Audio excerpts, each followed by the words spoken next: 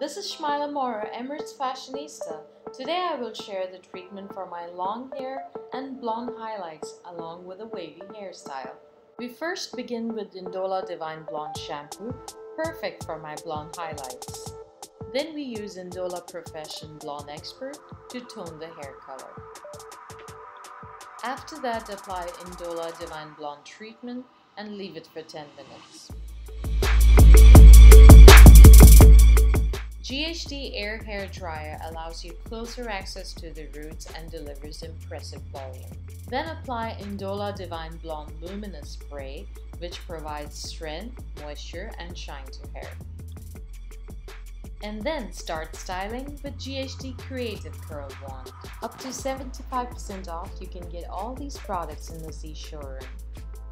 My hair looks healthy and shiny. Thank you for watching my video.